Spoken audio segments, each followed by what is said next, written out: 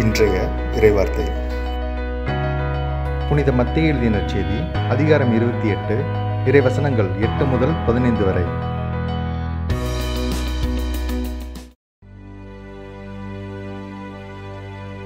அவர்களும் கல்லறையை விட்டு விரைவாக புறப்பட்டுச் சென்றார்கள். அவர்கள் அச்சமுற்றாலும் அதே வேளையில் பெருமகிழ்ச்சி உற்றவர்களாய் அவருடைய சீடருக்கு அறிவிக்க ஓடினார்கள்.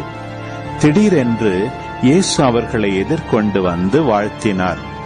அவர்கள் அவரை அணுகி அவர் காலடிகளை பற்றி கொண்டு பணிந்து நின்றார்கள். அப்பொழுது இயேசு அவர்களிடம் அஞ்சாதீர்கள் என் சகோதரர்களிடம் சென்று அவர்களை கலிலேயாவுக்கு போகுமாறு சொல்லுங்கள். அங்கே அவர்கள் என்னை காண்பார்கள் என்றார்.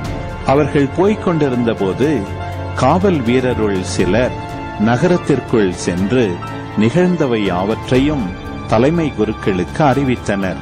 அவர்கள் மூப்பர்களுடன் கூடி கலந்து ஆலோசித்து அப்படை வீரருக்கு மிகுதியாக பணம் கொடுத்து நாங்கள் தூங்கிக் கொண்டிருந்தபோது இயேசுவின் சீடர் இரவில் வந்து அவரது உடலை திருடிச் சென்று விட்டனர் எனச் சொல்லுங்கள்.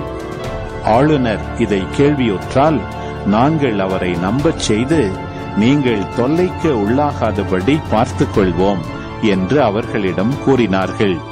அவர்களும் பணத்தை பெற்றுக்கொண்டு தங்களுக்கு அவர்கள் சொல்லிக் கொடுத்தவாறே செய்தார்கள். இந்நாள் வரை இந்த வதந்தி யூதரிடையே பரவியிருக்கிறது.